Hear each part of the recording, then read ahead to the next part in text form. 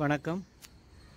So இன்றைக்கி மாடித்தோட்டம் நிகழ்ச்சியில் நம்ம பார்க்குறது வந்து காலையில் நம்ம எழுந்தவுடனேயும் எந்தெந்த மூலிகை இலைகள் நம்ம வந்து சாப்பிடலாம்.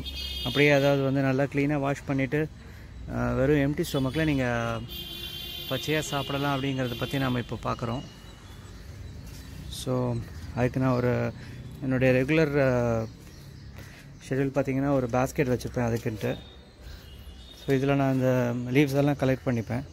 காமிக்கிறேன் பாருங்கள் ஃபஸ்ட்டு வந்து துளசி. ஸோ துளசி ஒரு நாலஞ்சு லீஃப் எடுத்துக்கலாம்.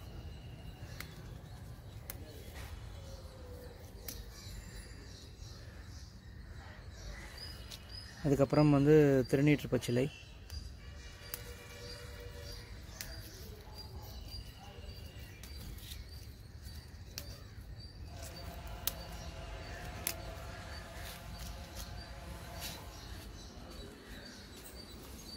துளசி இது இதுக்கப்புறம் திருநீற்று பச்சிலை எடுத்திருக்கேன். இதுக்கப்புறம் கொஞ்சம் கருவேப்பிலை எடுத்துக்கலாம்.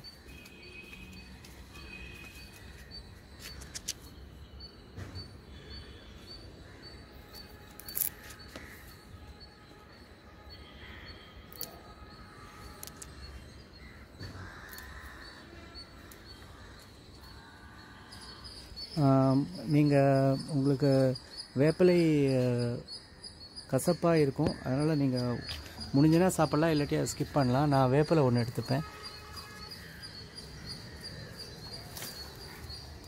இந்த மாதிரி கொழுந்தாக இருந்ததுன்னா உங்களுக்கு ரொம்ப கசப்பு தெரியாது. ஸோ அதனால் ஒரு வேப்பிலை எடுத்துக்கோங்க. அதுக்கப்புறமா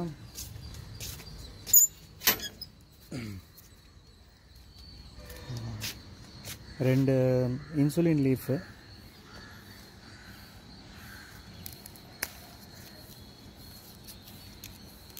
இந்த இன்சுலின் லீஃப் uh, இந்த பிளான்ட் பற்றி நான் இன்றைக்கி ஒரு தனி காணொலியாக நான் போடுறேன். இது ஒரு ரொம்ப உபயோகமான மெடிசினல் வேல்யூ நிறைய இருக்கிற பிளான்ட் இது. ஸோ இதோட லீஃப் வந்து நம்ம டைரெக்டாகவே யூஸ் பண்ணலாம். மற்றபடி அடுத்ததாக வந்து நம்ம இது எடுத்துக்கலாம். ஓமவல்லி.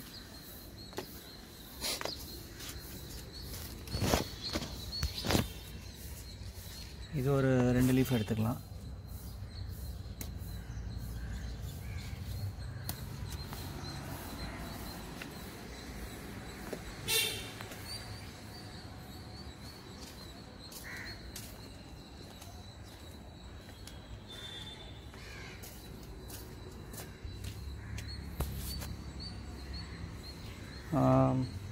மற்றபடி வந்து உங்களுக்கு செம்பருத்தி பூ பச்சையாக நீங்கள் சாப்பிடுவீங்கன்னா நீங்கள் செம்பருத்தி பூவை எடுத்துக்கலாம். இல்லாட்டி நீங்கள் வந்து செம்பருத்தி பூவை டீ மாதிரி போட்டு கூட குடிக்கலாம். ஸோ நான் மோஸ்ட்லி செம்பருத்தி பூ வந்து டீ மாதிரி யூஸ் பண்ணுவேன். அதனால் நான் முன்னாடி பச்சையாக சாப்பிட்டுட்டு இருந்தேன். ஆக்சுவலி பச்சையாக வந்து அந்த பூ வந்து அந்த மகரந்தம் இருக்கு இல்லையா அதெல்லாம் எடுத்துட்டு இதெல்லாம் எடுத்துடணும் போலன்ஸ் எல்லாத்தையும் இதெல்லாம் எடுத்துகிட்டு இந்த இந்த பூவோட இதழ்கள் இருக்க பாருங்கள் இதை மட்டும் டெய்லி சாப்பிட்டு வந்தால் நல்லதுன்னு சொல்லி கேள்விப்பட்டேன். ஸோ அதனால் இந்த பூக்கள் கூட நீங்கள் சாப்பிடலாம். அதுக்கப்புறம் கொஞ்சம் தும்பை பூக்கள்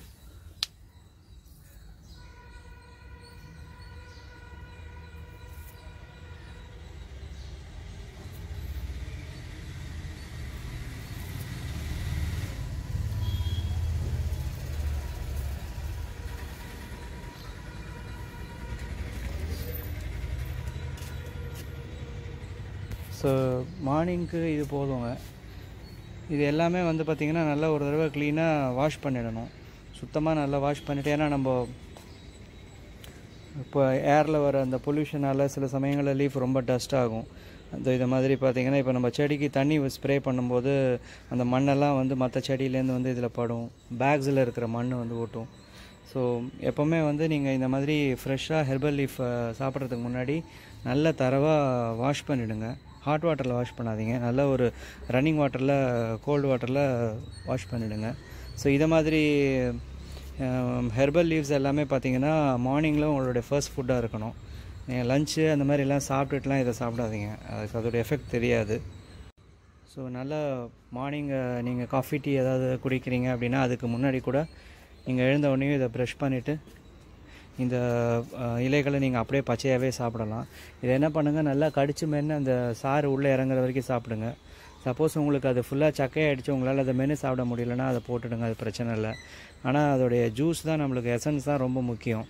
ஸோ இப்போது இந்த லீஃபை பற்றி ஒரு சின்ன பெனிஃபிட் சொல்கிறேன் துளசி எல்லாருக்குமே தெரிஞ்சது தான். அது வந்து உங்களுக்கு இந்த சளி கபம் இருமல் எல்லா விதமான நம்ம காமன் கோல்டு இருக்கிற எல்லா பிரச்சனைகளுக்குமே அது வந்து ஒரு நல்ல மருந்து. திருநீற்று பச்சிலை விபூதி பச்சிலைன்னுவாங்க திருநீற்று பச்சிலை வந்து இந்த ஒற்றை தலைவலி இந்த மாதிரி ப்ராப்ளம்ஸை சால்வ் பண்ணும்.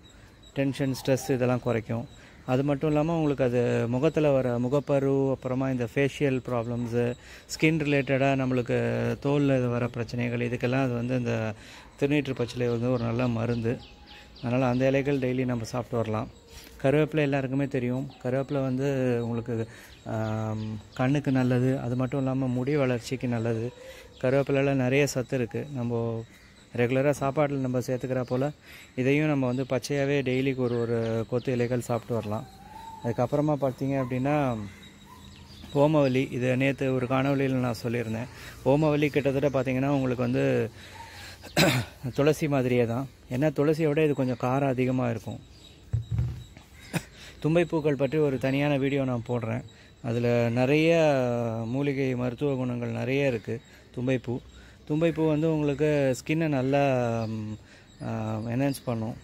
அது மட்டும் இல்லாமல் தும்பை பூக்கள் நீங்கள் தொடர்ச்சியாக சாப்பிட்டு வந்தீங்கன்னா நம்மளுக்கு இந்த உடலில் எதிர்ப்பு சக்தி அதிகமாகும்.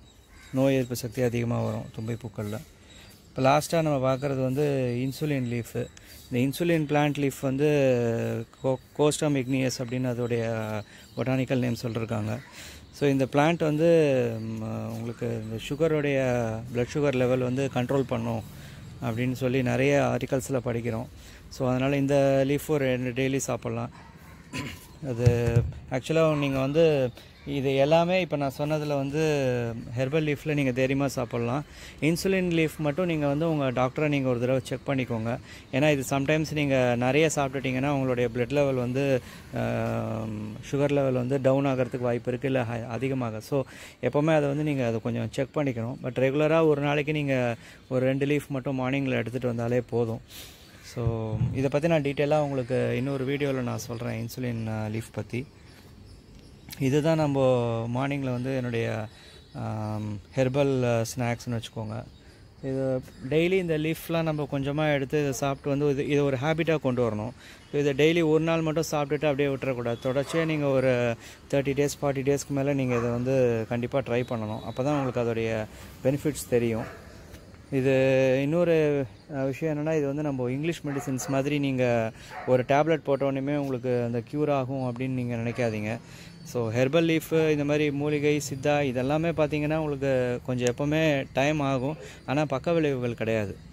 இது வந்து உங்களுக்கு உடம்புல எந்த விதமான பக்க விளைவும் பண்ணதில்லை. ஏன்னா இதை நான் டெய்லி சாப்பிட்டுட்டு வரேன். அதனால் எனக்கு இது வரைக்கும் சைடு எஃபெக்ட்ஸ் எதுவும் பண்ணதில்லை. இது மட்டும் இல்லாமல் ஆவாரம் பூ பொடி பண்ணி வச்சுருக்கேன். ஸோ ஆவாரம் பூ பொடியும் வந்து டெய்லி நான் கொஞ்சம் சாப்பிடுவேன். அது ஒரு ஸ்பூன் எடுத்து அதை டம்ளரில் மிக்ஸ் பண்ணி அதை நான் தண்ணியில் மிக்ஸ் பண்ணி அதை ஃபில்டர் பண்ணி குடிச்சிடுவேன். ஸோ இவ்வளோ தான் இது போதும். இதுக்கு மேலே நம்ம வந்து நிறைய ஓவராகவும் கன்சியூம் பண்ணக்கூடாது. இந்த மாதிரி ஹெர்பலை பொறுத்த வரைக்கும் நிறைய சாப்பிட்டா சீக்கிரமாக எல்லா பிரச்சனையும் சரியாயிடும் அப்படின்லாம் ஒரு மிஸ்கான்செப்ட் இருக்குது எதுவுமே வந்து நம்ம அளவாக தான் சாப்பிட்ணும். நிறைய நீங்கள் வந்து கன்சியூம் பண்ணிட்டீங்கன்னா அது வேறு மாதிரியான பிரச்சனையாயிடும். அதனால் வந்து ஒரு ஃபார்முலா மாதிரி தான் வச்சுக்கோங்க. ஸோ எல்லாமே வந்து அளவாக சாப்பிட்ணும். வீட்டில் நீங்கள் நிறைய வந்து இந்த மாதிரி மூலிகை செடிகள்லாம் வச்சுருக்கீங்கன்னா நீங்கள் கிண்ணம் ஃபுல்லாக ரொப்பிட்டு அதை அப்படியே மூணு நாலு டம்ளர் ஜூஸ் மாதிரிலாம் போட்டு குடிக்கக்கூடாது. அப்படிலாம் செய்யாதீங்க. லிமிட்டாக எல்லாமே வந்து அளவாக எடுத்துக்கோங்க. So lead a happy life இந்த மாதிரி ஹெர்பல்ஸ் யூஸ் பண்ணுங்கள் ஃபார்மா மெடிக்கல்ஸ் அவாய்ட் பண்ணுவோம். இந்த வீடியோ உங்களுக்கு பிடிச்சிருந்ததுன்னா லைக் பண்ணுங்கள் ஷேர் பண்ணுங்கள் என்னுடைய யூடியூப் சேனலை சப்ஸ்கிரைப் பண்ணிக்கோங்க. ஸோ மேலும் பல ஹெர்பல் செடிகள் பற்றிய டிப்ஸுக்கு என்னுடைய யூடியூப்பை பாருங்கள் அது வரைக்கும் நன்றி வணக்கம்.